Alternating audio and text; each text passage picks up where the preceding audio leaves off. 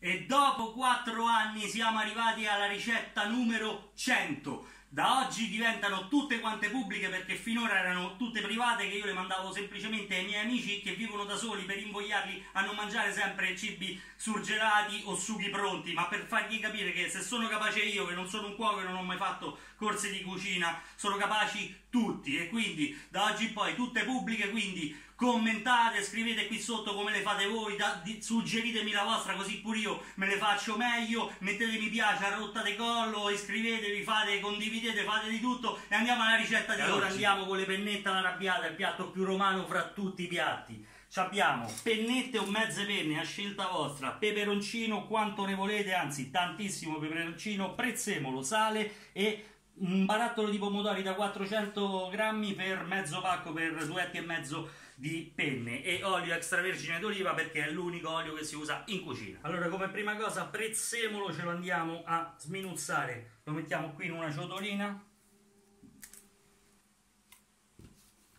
Vai, e con le forbici semplicemente, senza perderci tempo col coltello sul tagliere, si fa così e si sminuzza fino fino fino fino. Di prezzemolo ce ne va tanto perché stempera il piccante. Ecco fatto, e questo qui ce lo mettiamo da parte e all'ultimo lo spolveriamo a crudo. Ok, e questi qui sono i peperoncini del mio balcone, sono di qualità diverse, anzi andatevi a vedere il video su come si coltivano, così se volete ve li fate pure voi a casa. E bisogna mettercene tanto perché si chiama arrabbiata proprio perché deve bruciare in ecco gola. Che ho messo l'acqua a bollire, io uso 4 di questi peperoncini, io so quanto pizzicano, ovviamente ogni peperoncino ha un diverso grado di piccantezza, quindi dobbiamo cercare di conoscerli prima di utilizzarli, se no non sappiamo poi quanto pizzicano. E con la forbice sempre io li tengo per il gambetto qui così non li tocco se no se uno si stropiccia gli occhi poi dopo stai tutto il giorno a piangere e ce li sbricioliamo sulla padella. Ecco l'ultimo adesso andiamo a mettere l'olio extravergine d'oliva.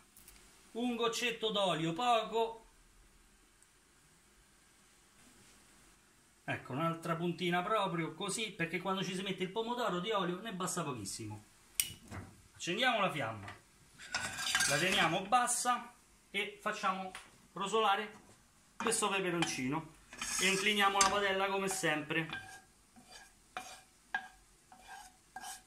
ecco piano piano le bollicine le deve fare chi vuole poi ci può soffriggere anche l'aglio io non ce lo metto perché chi mi segue da anni già la sa sta cosa, gli amici la sanno, che io sono uno che, va, che è per l'essenziale, insomma. Quindi eh, l'ingrediente principale deve essere il peperoncino, sull'aglio l'ingrediente principale è l'aglio, qui è il peperoncino e quindi visto che viene buona uguale, io non mi ci spreco a mettere altre cose, tutto qua.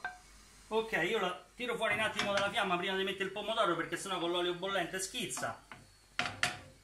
E vado con i pelati allora. E questo qui lo recupero con l'acqua perché a Roma non si butta mai niente. E la rimetto sulla fiamma.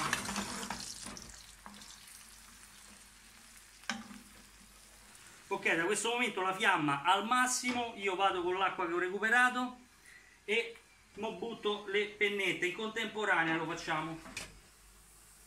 Piano piano vai 11 minuti queste le tiriamo il minuto prima per farle saltare.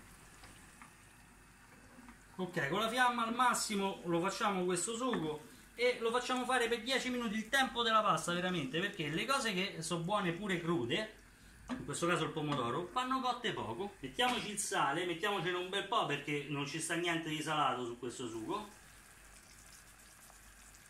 Ok e bisogna sempre dare una leccatina al cucchiaio perché se è troppo agro ci va una punta di zucchero che fa da correttore d'acidità. E oramai li colgono che sono troppo ma ancora sono troppo acerbi e quindi sono sempre agri i pomodori. Ma di zucchero veramente una punta così.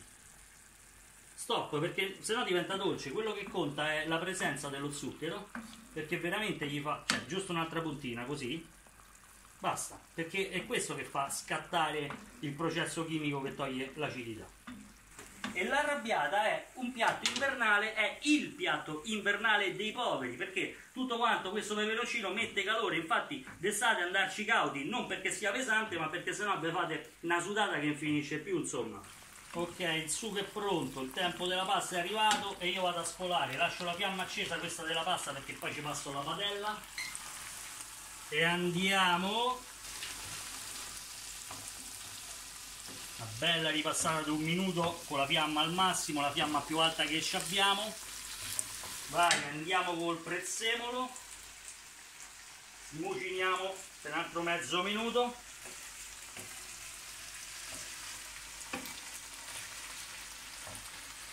Quanto stempera il prezzemolo? Appena tocca si sente subito l'odore il bollente e il fresco